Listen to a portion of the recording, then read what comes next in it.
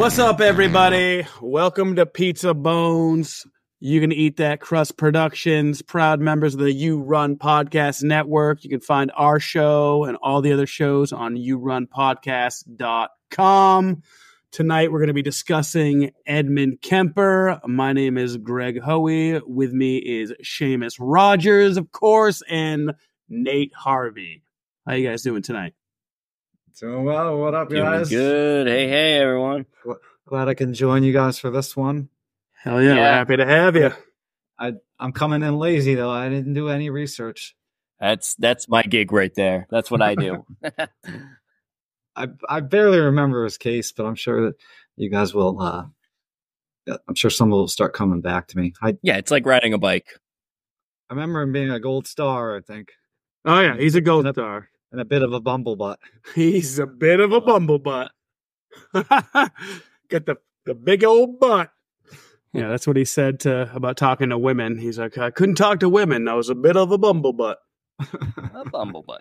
All right. So, like I said, we're talking about Edmund Kemper, six foot nine, three hundred plus pounds, co-ed killer. Freaking wrestler. Yeah, should have been a basketball player. Right? That's Shaq size right there. Right. It's terrifying. Yeah. the gentle giant.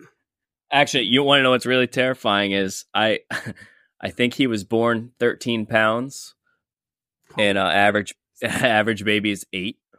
So, uh, Damn. Terrifying is being the person that gave birth to that baby. well, yeah, he always, he's abused women his whole life. What? Not, you know. not just because of what he turned into, but the way he came out, 13 pounds, Exactly. and that big old bumblebutt. Yeah, big old bubble butt coming out your vagina.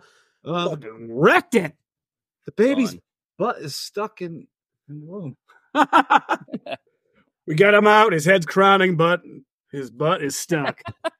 oh God. so Kemper was born on December 18th, 1948, Burbank, California. He was the middle child of Edmund Emil Jr. Kemper and Clarnell Kemper. Clarnell. Check. And Clarnell is a butte. Clarnell's his mom. Yeah. And so his dad, Edmund Emil, was six eight, and Clarnell was six feet. Jeez. So big parents. big, big parents. Do bumblebutts run in the family? They do. It's a big bumblebutt family.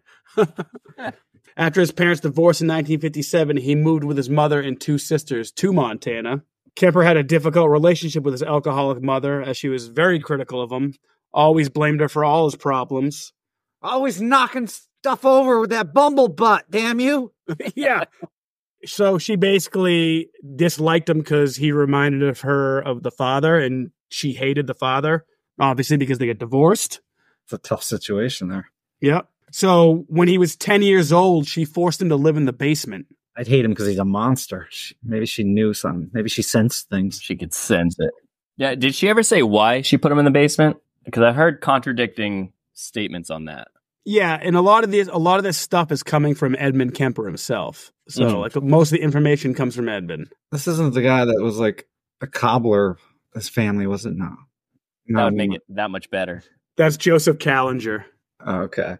Yeah, and that guy was fucked up, and maybe we'll cover him eventually as well. Mm. Um, so no, they forced him in the basement because his mom was scared of him, like raping his sisters or hurting his sisters. Yeah. Yeah. I, I, that's what I heard. Yeah. They would leave him in the basement all day, and he just had like a hanging light, and they would let him up for supper. Like you, they had to move the table, and the ba- and, and there was like a trap door. So like basically, they would move the table and let him out of the basement. Damn. They give him any livestock to abuse while he was. Well, he did kill a cat downstairs. Of course, like like most serial killers, he he killed a cat and cut its head off, stuck it on a stick. Yeah, poor cats, man. They they're always building blocks of serial killers' uh, resume, huh? yeah, and and they say actually that uh, a lot of people who kill females start off by killing cats because cats are like a feminine symbol. Hmm. Yeah, BTK said similar stuff. Yep.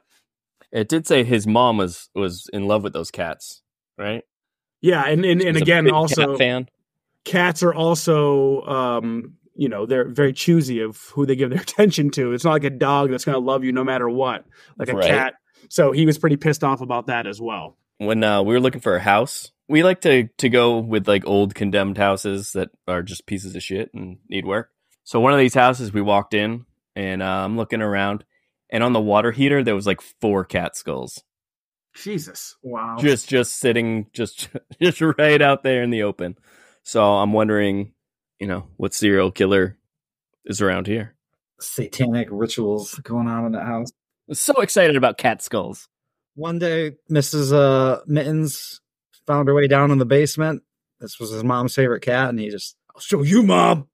Yeah, he sure showed her. Yeah, you talk about that, Nate, too. You also have serial killers. Not serial killers, but yeah, I didn't know if you know, true. Seamus, that there's a Mount Vernon killing like right down the street from Nate. I don't know if you remember those kids that just randomly broke into these people's houses and like stabbed the mother and stabbed the daughter, and the daughter like survived. Yeah, Fucking crazy story. Slit her throat, and it's a mess. Yeah. They catch these psychos. Oh yeah. Yes. Yep. The next day, I believe. Yeah, they're, they're dumb. Yeah, they're dumb teenagers, but it was gruesome, gruesome crime. I remember hearing about it on the radio, sports talk radio, actually. But when Nate sent me that link, I was like, "Holy shit, that happened down the street from your house! That's fucking madness." Oh yeah, we could walk there. Well, I'm glad they got them off the streets because they probably wouldn't have stopped there. No. So Kemper had a dark fantasy life early on, like sometimes about dreaming about killing his mother. He cut off the heads of his sister's dolls and coerced the girls into playing a game he called Gas Chamber, in which his sister would bl- blindfold him and tie him to a chair, and he would tend to writhe in agony until he died from gas. So he's not holding them under a blanket and just farting on their faces. No, it's getting it's getting crazy. Uh, he did roll them up in uh in rugs though, and see how fast they could get out. Well, he was practicing for his future hookers. And you wonder why his mom wanted to keep the kids away or keep the Mhm. daughters away. And like I said, his first victim was the family cats. Did I say cats? Poor Miss Mittens. Yeah. So at 10, he buried one of them alive. And the second, at 13 year old, he slaughtered it with a knife and basically like chopped its skull off until the brain was showing. and let it dry out on the heater. Yeah. He let it like just like kibby out. Like it was just. fucking Ugh. psycho. I hate animal torture anyway, obviously. hmm I just don't understand torture in general. It's just Yeah. such an inhumane thing. It's disgusting. I don't know how you could stomach it. Yep. People are fucked up. That's why we have True Crime podcasts. So he went to live with his father for a time, but ended up back with his mother, who decided to send the troubled teenager to live with his grandparents in North Fork, California. North Fork, California. Edmund Kemper was a, a Boy Scout, loved guns. His grandparents gave him a 22. Big mistake. Yep. And uh, he hated living with his grandparents. He hated living on the farm. His grandmother like wrote children's books or illustrated children's books. I feel like every serial killer lived on a farm. right? Yeah, that's a lot of idle time to and a lot of space to do crazy shit. All right, get these kids some friends. So his grandparents took away his rifle after he killed several birds and other small animals. And uh his grandmother had a gun in her like underwear drawer and like when she was in the bathroom he would like take it out and like play with it and like dance around with it and like Suck Pretty- on it, suck on the muzzle. yeah, do all sorts of weird shit with it. And basically when she left she would take the gun with her, and he would be like, "Grandma, why you? What are you doing? Why are you taking the gun? Did you take that gun with you?" Like, because he was like, "Why would she trust me?" Oh, well, then she like, well, how do you know I have the gun? Right? Oh, she. Oh, he knew. August twenty seventh, nineteen sixty four. Kemper just walked into the kitchen when his grandmother was re- uh, viewing one of the children's books she wrote and shot her in the back of the head. Oh, just an angry dude. His grandfather pulls up and, like, you know, waves at him, smiles at him, goes around the back, shoots him in the car. And the reason he shot the grandfather is because he didn't want the grandfather to have to witness seeing his wife dead. He was doing him a favor, Oh, what a what a gentleman he is. right? Yeah, he sounds. He's def- clearly the uh, poster child for empathy. Oh yeah. Yeah, he he does that a lot where he's like, "Oh, and this happened because of they did this," or like he's always he's never taking Responsibility. yes, he's never taking responsibility. He's always passing the blame on on the victims as well. He's she made fun of my bumble butt. yeah, I mean, he'd be killing the whole world if that was the case. Dude's got like that butt, like the guy on Instagram.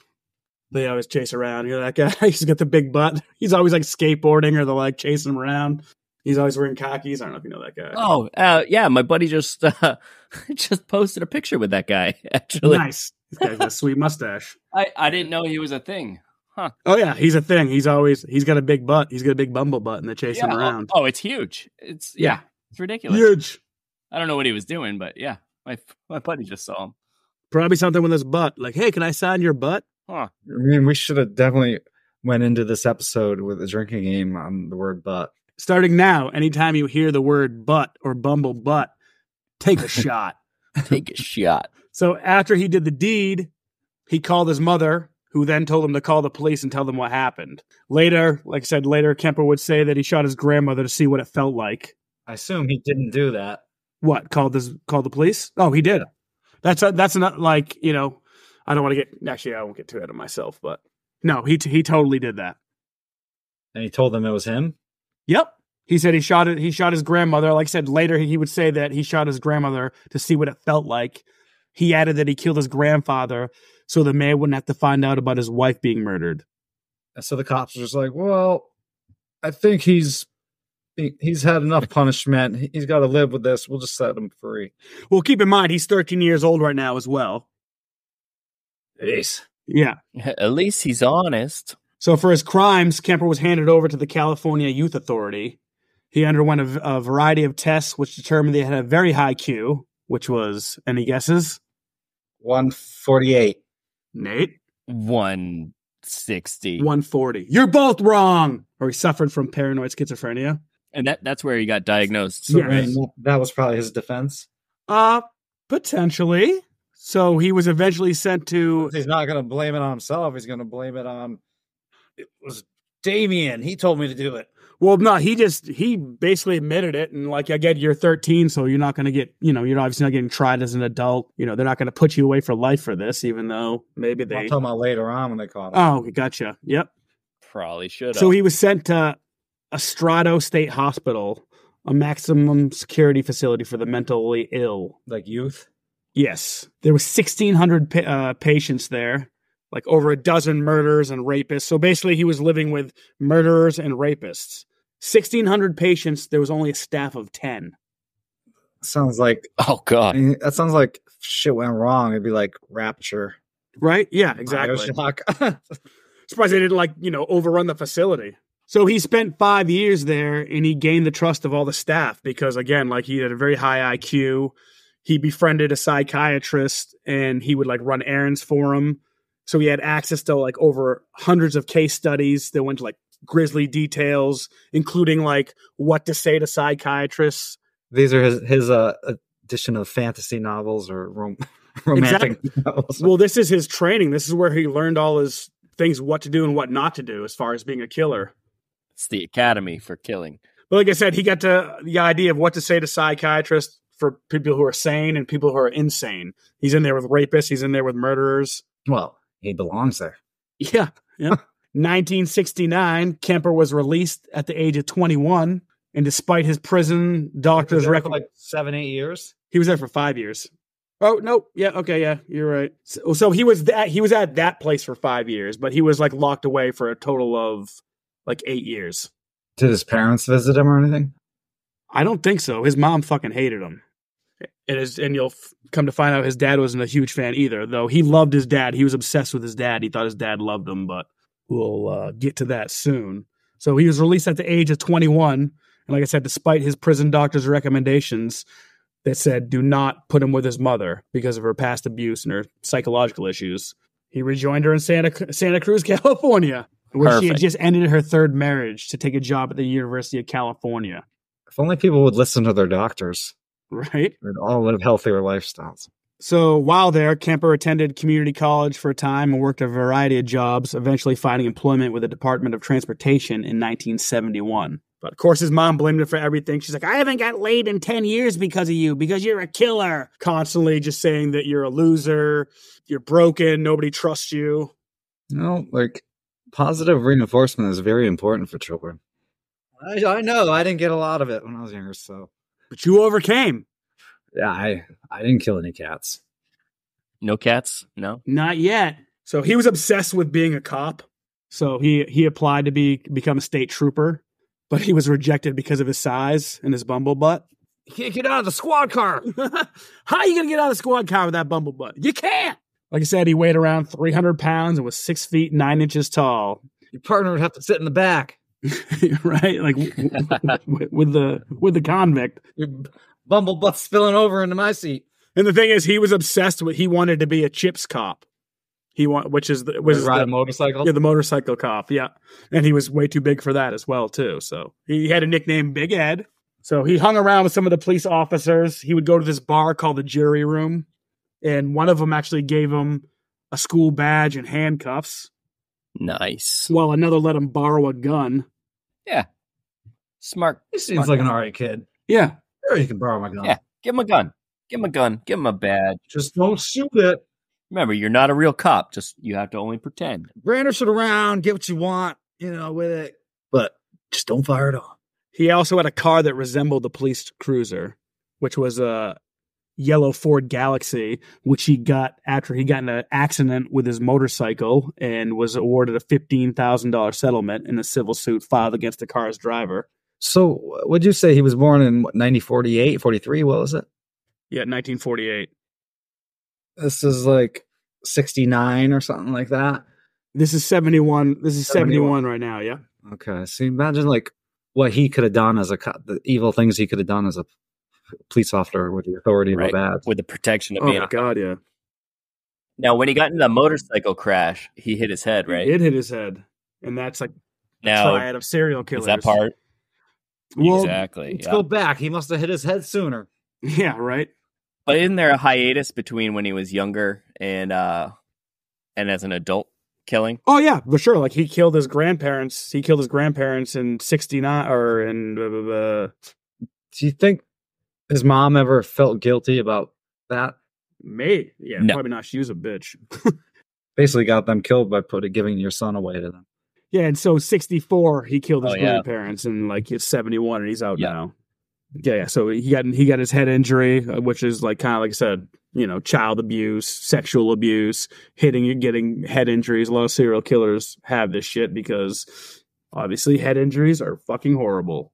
And he did buy that yellow Ford Galaxie with that money he got. Aaron Hernandez, you know, with the the CTE, and there's at his age. Remember, you know, I was listening to the Death and Entertainment talking about it, and Yeah, it's crazy. he, they said that he's the worst case they've ever seen at that age. Like people twenty years old older don't even have it so bad. When he was twenty seven, Oh wow. Yeah.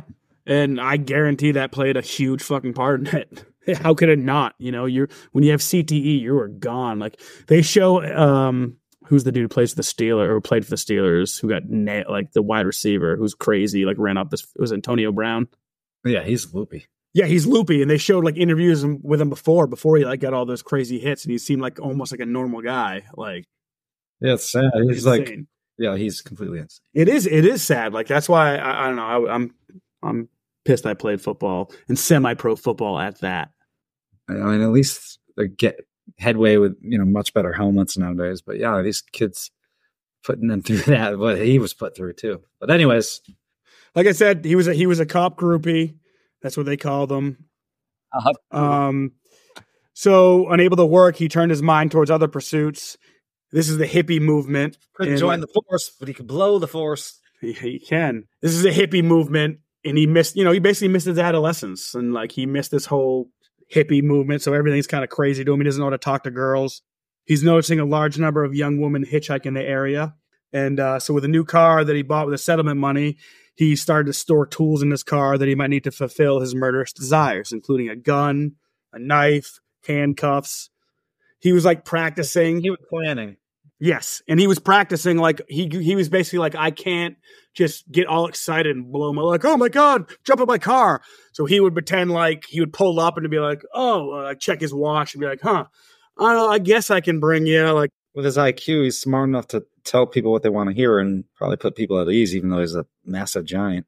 exactly. And he would practice that and like so he had a four door or I'm sorry a two door car it was like a coupe, and he had this little trick where he would like kind of lean in, open the door, and then he would like drop his like chapstick in between like some part of the door to allow them not to open the door from that side. So he would like kind of practice that just like he would practice pulling his gun. Like he was just, he did a lot of, he picked up a lot of girls hitchhiking and did not do anything to them. Like he just safely gave them rides, talking to them, learning. Well, chickened out a lot in the beginning, you know. Totally. But like I said, he was also just kind of learning and practicing to eventually lead up to what, you know, he was going to do. So like I said, after, at first, Kemper would pick up female hitchhikers and let them go. However, when he offered a ride to two Fresno State students, Mary Ann Pesce and Anita Lucia, Lucia, I'm sure I'm butchering those names. In fact, I know I'm butchering those names. they would never make it to their destination. On August 15th, when a female head was discovered in the woods near Santa Cruz and was later identified as Pesce's. Lucia's remains, however, were never found. So Kemper later explained that he stabbed and strangled Pesce before stabbing Lucia as well. I feel like I said those names like different every time. what a bumblebutt! So he, yeah, during that crime, he said, you know, watching all these movies, you think when you stab somebody, He didn't expect as much blood, right? yeah, he found a secluded spot, drew his gun out of him, and put one of them in the trunk. Came back, he killed her, but when he stabbed her, he's like, he expected her to like just die. And he's like, you know, when you stab somebody, they don't die. He's like, they leak. they leak. Yeah, that was a quote. Yep. Oh yeah. And he's like, he's like, they leak to death. He's like, depending on where you stab them. He's like, it's his heart. He's like, I stabbed her a bunch of times. He's like, she turned around. I couldn't stab her in the heart because her breast was there, and it made me embarrassed. He's like, I was embarrassed. He's like, I probably said that. I was embarrassed to stab her in the breast. He wanted to save him for later. I don't think he was a breast man though. Oh, Just do you? Cut the vagina out. oh, he's more of a head uh, guy. but Yeah, Let's- definitely. let's not get ahead of ourselves. Heyo. But yeah, so after he killed her in the trunk, he came up to the front seat and basically was like, "Hey, your friend needs help. You know, come come back here." And he basically stabbed her and leaked her to death as well too. But it was a thing where basically he said he was thinking they were going to die so easy and ended up stabbing him so many times. And he was so panicked that he started to run away from his car after after he committed the crimes. And his gun fell down his pants and he tripped on his gun and fell. And then like because he totally forgot he had a gun to shoot him. Still gonna leak. So he brought up he brought the bodies back to his apartment, and this is where he, he had a roommate at the time as well too. He's not living with his mom at this time. He's got his own place and got a roommate. Apparently the roommate wasn't there, but he removed their heads and hands and reportedly engaged in sexual activity with their corpses. He liked to fuck their heads, hmm Like the mouth or the stump. the mouth. Well, Um, both, right? Yeah, I'm sure he would fuck the, the stumps as well too. The stump comes comes later on in the story, I believe. Yes. And he would bury these body parts in different places. Like I said, he was he learned a lot at the psychiatric place. So later that year, September 14th, 1972, Kemper picked up 15-year-old Aiko Koo, who decided to hitchhike rather than wait for the bus to take her dance class. This one's pretty tragic. Uh, this girl was a dancer and she really wanted to go to this dance recital thing and her mom basically was like yeah if you take the bus don't hitchhike because you know hitchhiking is known. Parents know their kids are hitchhiking. It's it's the 70s it's it's new. Hitchhiking is safe everybody. So she missed the bus and then Kemper was there and he picked her up. So this girl he pulled a gun on her right away and she was super scared and he got out of the car with a gun on the seat and locked himself out of the car. Bit of a bumblebutt. She lets him back in Oh my. and she would take the she would face the same fate as Pesce and uh, Lucia. Why the heck would you unlock the door for him? Like she could have grabbed the gun. Shot. I mean, uh, she's she's 15 This years would- old. She's a scared like- girl. Pulp Fiction. Guy leaves his gun at the toilet. Leaves it in your car seat. I'd be shooting you with it. Yeah, right. That's a Bruce Willis reference. January 1973, Kemper continued to act on his murderous impulses, picking up hitchhiker Cindy Schall, whom he shot and killed.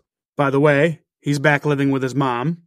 Oof. What happened between him and his roommate? he just decided to move back in with his mom. Like, I don't know why why he would do that because they have like a love hate relationship. I think he just wants to be wanted. I did leave out that when he was 21, he did try to go back and live with his dad because he was obsessed with his dad, and the the stepmom was like got a headache anytime he like spoke. she hated him. Yeah. And she's like, "Your kid's fucking weird. Get him the fuck out of here." I also heard uh, his dad. His dad was like talking about how bad the mom actually was, and he's like, he's like, it was easier in World War II than it was to live with his mom. Oh. Yeah. That's how miserable of a person she a was. Yeah. Well, she did, you know. I mean, honestly, it's no excuse. I mean, but you you feel bad for his childhood. Like, kid was fucked from the start. Yeah, it's terrible just because she doesn't want to be a mom. Well, I guess she had a sister or two, right? Yeah, two sisters. She didn't fuck them up. Yeah, th- one of his sisters later on the stand would say basically that um I quote she quoted her brother by saying like I didn't see a girl and like wanted to kiss her. I wanted to see a girl and kill her and then kiss her or some weird ass quote like that. It's like Jesus Christ. That's his sister saying that about him. Yes. At, ear- at, and he said this at like seven or eight years old. So after he kills Cindy Schall, his mother's out. So Kemper goes back to her house, hides the body in his room, dismembers the corpse, throws all the body parts in the ocean. Several parts were later discovered to wash up on shore, but he buried her head in his mother's backyard and he buried it like right by his window so he basically could talk to it. So where is he dismembering these corpses? In his fucking room. He's, was he got like a Dexter room going on? I yeah, no, I don't I don't think so. I think he's like I don't think his mom goes in his room. Mom, meatloaf. yeah, because the mom eventually found the because he when he killed the cats, the second cat he killed, he left in the closet, and the mom like found it, but he was able to talk his way out of it. Like, oh no, I'm not, I'm not insane. Okay, son, nothing to see here, Big Ed. Even though I think you're crazy anyway. February fifth, nineteen seventy three. His mom gave him a campus parking sticker because like all like girls are going missing and it, a lot of it's hap- happening on the campus where his mom works. So they're basically like, don't take a ride from anybody unless they have a campus parking sticker. so he's using this to his advantage. So he drove to the university where he had offered ride to two students, Rosalind Thorpe and Alice Liu. Um, these girls were like studying late and they missed the university bus like by a couple minutes. And he picked them up. He shot the young women and he he drove by the campus security at the gates with two mortally wounded women in his car and basically just talked his way out of it and like was like oh no they're passed out or they're they're sleeping rough night of studying. Like, he was very smart. He was able to talk his way out of a lot of shit. He was better this time. He didn't stab him 20 times. exactly. He's using the gun instantly now. In march some of thorpe's and liu's remains were discovered by hikers near highway 1 in san mateo county. Also at the time of the murders there were two other serial killers happening john linley frazier and herbert mullen Ah, his his friend. Yeah, Herbert. Herbert Mullen, who will he would eventually be uh, bunkmate, not bunkmates. He would be next door to him in, in jail. next door to him. Yeah. Yeah. I I love this part of the story. yeah. He basically, yeah, we'll we'll get to that. Uh, actually, we can talk about that now. When he's in jail, eventually, he basically trains this guy like a bird because Herbert Mullins would always sing, and basically Ed Kemper was like, "Yo, shut the fuck up, or I'm gonna fucking kill you," and eventually, Big Ed angry. Yeah, eventually Herbert would be like, "Hey, can I sing now?" And he'd be like, "Yeah, okay." He's and like basically Ed, Ed Kemper was like, "It was like training a bird." yeah. Yeah, he'd give him he'd give him peanuts when he's good, and then uh, and when he was bad, he'd he'd splash water at him. Uh, and, cat. and at first he used to he used to like he used to be really good at dodging the water, but then uh, then Edmund got his uh, got some other people in on it, and uh, and they kind of tracked him in the cell, so he knew exactly where to throw the water Hold Herman to get him every time. I'm going to Yeah. spray, his, spray his face with water. Yeah. So Yeah, Herbert kind of awesome. Herbert Mullins killed people because that I think he said that California was going to get sunk in the sea if he didn't do it. It was some like Yeah, yeah, yeah. What is his? Is some any some religious yeah it was just some religious crazy he had like some message from god or whatever like that told him that if he didn't kill that you know california was gonna like sink into the sea or some crazy shit like that and then john linley frazier was basically kind of like or n- n- more so like manson where he just went to like a house and killed all the people even though manson didn't kill people he told them to but he didn't really tell them to i guess Helter Skelter. Helter Skelter.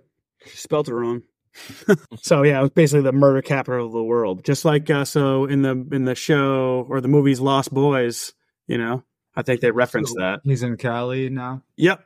So his mom moved to Cali too. You know, th- th- we've been in Cali for a little while. Yeah, ever since his, Was it his dad in Montana? yeah, his or- dad was in Montana. Yep. Okay. His mom was originally in Montana. They, I mean, they all lived in Montana, but like when he went to his grandparents, he went to California, and then his mom was like Mhm. working at the California University. So this is all taking place in California. Going hitchhiking Cali. Yeah. Especially in the seventies. Moral of the story. Yeah. Don't do it.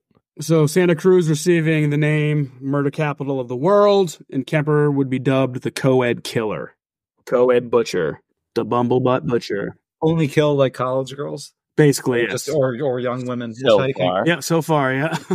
and we're about to get to the big one. 1973 in April, Kemper committed what would be his last two murders. On Good Friday, he went to his mother's home where the two had an unpleasant exchange. That's the thing. Anytime he would kill someone, he would usually had a fight with his mom. Like, so if he had like a big fight with his mom, he would go off and blow steam by killing people. It's too bad he just didn't kill his mom like 15 years ago. right? So he came into the bed and she was like, I suppose you're going to want to talk all night. And he just said, no. And he went back in his room for four hours, came back in later, shot her. Oh, nope, sorry. Talk to her. I got he- I got heads in the backyard to talk to. Right. so said, he went in there and she said, I suppose you want to talk all night. He went to his room for four hours, came back when she was sleeping and smashed her head in with a hammer and then cut her throat with a knife. So he did he decapitated her head, cut off her hands, but also removed her larynx and put it. And he tried to stick it down the garbage. Uh, he tried to stick it down the garbage disposal and like kept on like spitting back up at him. Oh, not talking back now, huh? No So, stupid yeah. remarks. He thought that was irony. He's like, oh, it's irony that you know her larynx wouldn't go down. Like she's still trying to yell at me. But he like mo- he monitored her head like on like the cabinet and was like yelling at it and like having altercations with it. And then you know, of course, he fucked it. Fucked his mom's head. yeah, trying to train that head. So, He fucked his own mom's head. oh yeah, What do you call that? yeah. A mom fucker, Huh? a motherfucker. I want to say that he fucked her body as well, but I might be, I might be making that up. He also he also ate parts as well too from from from victims. Like he carved off like pieces of their legs and would like cook it in their mac cook it in his macaroni. But I could couldn't do breasts. I got too squeamish. I was a little embarrassed. right? I'm surprised he didn't eat the butt. Ate the butt. Ate everything. So he knew that one person would be missing his mom, and that was her best friend Sally Hallett. They called her up. Yeah, after hiding his mom's body parts, he called her up and asked her if she wanted to come over to, for dinner. And she was all excited about that. And she came in and he strangled her from behind, killed her, chopped her head off, and hid her body in a closet. Fucked her head too. Oh, yeah. Pro- Probably. Yep. He's fucking lots of heads. He leaves a note and then he, he flees the next day. Drove to uh, Pueblo, Colorado. Pueblo. Pueblo. Where on April 23rd, he made a call to the Santa Cruz police to confess his crimes. And at first, the guys didn't believe it. They're like, oh, it's just Big Ed, just joking. So he had to call back a couple times to like, no, I, I killed my mom and, and the, I'm the co-ed killer. And so finally, cops went to the house and, and found the body, found the note, and they were like, holy fuck, okay. How long had he been ac- active at this point? Like, how long have they been looking for him? They weren't looking for him at all. Well, they were looking for the co-ed killer. They're looking for the co-ed killer. They're looking for the co-ed killer from like 71 beyond. And it's like 70. So like a couple years. But also, like you said, there's so many other killings happening. Is there's so many other serial killers, not to mention other people, but obviously Herbert Mullins. I think Herbert Mullin has like 13 victims. Herbert Mullin and John Linley Frazier. Like and not to mention who else, you know, there could be other people operating because obviously the Golden State Killer was probably active around that time as well too, and that dude didn't get caught till like the 2000s. Big Ed was upset because his his neighbor in the pen had more kills than him. he's also the only killer to ever like turn himself in like so that's why he kind of thinks he's the hero in this thing because he's like yeah i turned myself in you know so they basically said you know all right they informed colorado police and you know they met him at a phone booth and uh, actually no real quick they took his gun they're looking for him the, the co-ed killer not him the people knew him at the, the jury room because he used to frequent the bar the jury room and like he would talk to cops about the killings and stuff. And that's another reason he was able to dodge it because the cops would be openly talk about See the, how close they were getting on Yeah. this trail. and they didn't suspect him, so they would openly talk to him. So he was like, you know, he got all this information and knew where to go and where not to go. They sent cops over to see his uh to check his gun one time, and when the cop said like he got out of his car, he's like he got out of his car and he got out of his car and he got out of his car because he was so big. like he just kept on getting out of his car because he was so big. And he opened his trunk and they gave Was it Simpsons episode? Oh yeah, yeah, that big guy, Yeah. the tall ass guy. Yeah. Yeah, it's basically the same deal. And like, so there, he, the the young cop was like, because I guess they drew straws to see he was going to go get Big Ed's gun. And this is before they even thought he was the killer. They just like, he's fucking Big Ed. He's like six nine, blah blah blah. So the guy's like, yeah, get out of his car, get out of his car, get out of his car. Went in the trunk Why did they take his gun? because they're trying to run because they know that Ed's got a. They're looking at registered guns around the area because they're trying to find the co-ed killer. But he said they didn't suspect him. They didn't suspect him, but they're looking at guns. They're just getting trying to get him off the list, Yeah. right? Routinely Yeah. checking people's guns. Routine, yeah. And and like so he was basically thinking like, oh shit, which gun are they talking about? Because he's got Yeah. multiple guns, and like he gave him the right gun, and it checked out, and he was all set. Um, but so this guy was the same guy who went over to the house when he found like after he got the call, and and, found, and he's the one who found the mother and all that stuff. Like this guy, like actually like rose in the ranks as well. I forgot the guy's name, but so yeah, like I said, when he gets out of the phone booth, they said put the hands up. He said his hands were literally on top of the phone booth because he's a fucking monster. And uh, yeah, they they they brought him in, and basically he was charged with eight counts of first degree murder because he talked, he admitted it, he turned himself in. So When he was in California and tried in California. yeah, they, they brought him back. They brought him back. Yeah, they brought him back to California. Tried him in California. He was charged with eight counts of deg- uh, first degree murder, and he went on trial for his crimes in October 1973. He was found guilty on all charges in early November. When asked by the judge what he thought his punishment should be, Kemper said that he thought he should be tortured to death. Instead, he received eight concurrent life sentences. At present, Kemper is serving his time at California Medical Facility in Vacaville. So it sounded like he did have remorse, like he knew he was a monster. Yep. And so, and of course, like he was definitely created by Clarnell. Not making any excuse for a dude. You know, obviously he hit his Like head said, too. if He just cut her head off 15 years before, and all those young girls would have been fine. Yeah. He had over 5,000 hours of recording in the booth, in the mic booth. Like what? Like interviews? Yep. Interviews, 4 million feet of tape. Jeez. Like this dude just loved to talk. He would, he'd like, again, like he just sung like a canary when they got him. So he was, again, he's got a crazy high IQ. Obviously, a lot of people recognize Ed Kemper from the show Mindhunter. That's actually kind of what got me into Mindhunter was seeing the actor who played him. I was like, holy shit, this guy, Right. So legit. Ed, Ed Kemper, he's great. Yeah. Also, he read audiobooks. Oh, that's right. For blind people, right? Didn't he uh no, he re- like he's he just recorded audiobooks. Like he's like he was a narrator for audiobooks. He did Flowers in the Attic. He did The Glass Mhm. Key. He did Merlin's Mirror, Petals on the Wind, The Rosemary Murders, Sphinx, and multiple Star Wars books. That's crazy. Yeah, in one of the interviews he does he does something for um for for like a charity thing. Well, because he worked for um, the Chamber of Commerce when he was locked up the first time, the juvie one. Yep. and he did a bunch for blind people. If they're still streaming, yeah, I- I'm guessing no, but maybe I don't know if they would just like you know I don't know if the book would or the people would spend that much money to like redo the the whole book. So maybe they're like, fuck it, it's there. right? Oh, we don't know. I don't know. I'm not seeing any Ed Kemper books on Audible. Well, oh, what, as far as like the narrator, yeah. Yeah. I mean, because there was definitely again, like for sources, I used uh, Edmund Kemper, the true story of the co-ed killer by Jack Rosewood, and Edmund Kemper by Ryan Becker, and they were both very, very short. One of them was like two and a half hours, and one of them was like forty-five minutes. But that's where most of the information came from. Nate looked at some interviews. Yeah. Right from the source. Yeah. And again, like No, no matter don't know how true it is. yeah, all, all his information came from him. You know, so like he Mhm. kind of he could have been a lot worse than he than he was, and just lied about it because you basically got to take. So it did he bring word. them? He brought them to all the bodies, or tried to? Yeah, he yep he basically he you know told them where everything was buried. Obviously, they dug up his backyard, found the head. Some bodies were never never discovered because he threw some in the ocean. Yeah, that's the story of Edmund Kemper, the bumblebutt, the co-ed killer. the bumblebutt. Now I I heard, I don't know if this is true. I heard he had a micro penis. Ooh, I heard Did that come up in any of your any of your research He was there? so angry. That's all I. That's It- all I could be. researched was his micro penis. Basically, I did like probably right. forty hours of research on his micro penis. Can't make fun of my penis anymore, Clarnell.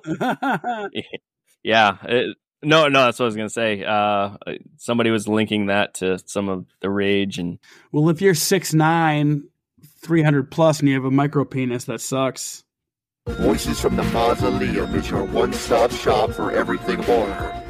Join host Scott and Angel as they deep dive into all things horror. From movies, TV shows, books, and video games, nobody is safe. Batten down the hatches, lock your doors, and listen to Voices from the Mausoleum, another podcast brought to you by the You Run Podcast Network. yeah, Absolutely. I mean, yeah, it just defies all all odds right there. That's no excuse, Ed Kemper. Just because you have him, that's probably why he fucked the mouse and not the neck. Probably like a living girl virgin. Anything else to add on Ed Kemper? He got paroled a bunch of times too, didn't he? He got out. Uh, not that I know of. I think. Uh, I think he got out like twice. Well, No after They after ran him out. juvie, he got out again. well, yeah, maybe after, after Um, juvie, but there's no way he got out after they caught him for eight for eight murders. After I, I want to say after his first killing, he got actually got out again, and uh, and, and the parole people didn't didn't pay much attention to him because they they enjoyed talking to him and and whatnot, and uh, so that he kind of got away out of it, and they just never checked up on him. One fun fact is after he killed, I think it was uh, Aiko Koo, he like had her head in a bag, and he went to us like a psych two psychiatrist appointments. On date? and they basically said like the psychiatrists were like oh like he's grounded he's normal like if, if i would have known about his crimes like you know his grandparents he's like i would have never guessed he seems like a, a good a good human being so basically Right. and this is him like at like basically the night after fucking chopping someone's head off and he's got the head in his car Maybe he was schizophrenic. for sure yeah i think he tried he tried he tried to say that but again he tried to claim insanity as well i believe too and they were like no Mhm. i don't think I mean, so. but I would think that the, his def- defense would have used that. I think they tried, but again, like with the you know his his Either way, you're never getting out. You're. Yeah his his crimes you know were were planned. You know, obviously he wanted to kill his mom from the start, and like you said, maybe if he had killed his mom early on, not that we're you know okay So in that. executed, right? No, no, he's alive still. He's alive. I thought California had a death penalty. I don't think so. No, actually, why would California? I know where was where was the keys California is usually ahead on all that. So yeah, they probably would have been the first state to with Mindhunter, you know the the show and whatever. Like you know he's in that, and, and yeah, Johnny Douglas, the the author of Mindhunter, he was like the FBI profiler or whatever. He talked to Ed Kemper a lot, and they he you know basically helped him profile serial killers. Mid to late seventies is when they were using more like analysts like that, or more analysis like that, and seeing what Yeah, he was very involved with the FBI and um, interviews and just just the psyche of of being a killer and like he said he sneaky son of he a. turned himself in, but he would always say like, you know, this happened because so and so did this. Like he never really took the blame fully. Like he always kind of passed the buck and, and tried, you know, but he thought he was so Mhm. right just because he turned himself in. But he was a piece of shit, bumblebutt. He uh he tried to commit suicide twice in prison, both times with a pen, and uh yeah, so so yeah, he sharpened it and slit his wrists or whatever. And uh when they asked him about it, he said uh the sword is not mightier than the pen or whatever, and no one ever caught on to to what he meant by that. And he always thought that was funny He's like, they're all dumb. I'm so smart. because the pen was the sword. But obviously, this is a comedy podcast. We're not trying to insult the victims.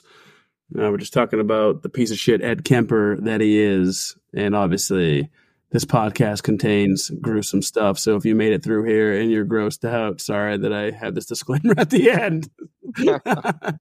Whoops. this one's getting released after Israel Keys, at least. So, you know, at least they'll know that. I get the disclaimer there. Yeah. Disclaimer, there's a disclaimer. You know, obviously check us out on yourunpodcast.com. You can find us on Spotify, Apple Pod, YouTube, Instagram, X, all the social medias. Give us a follow, give us some reviews, Five star reviews. five star reviews. Give it to us, please. And uh, yeah, right into the show at you gonna eat that crust at gmail.com or gonna eat that crust at gmail.com. The emails just keep on flooding in.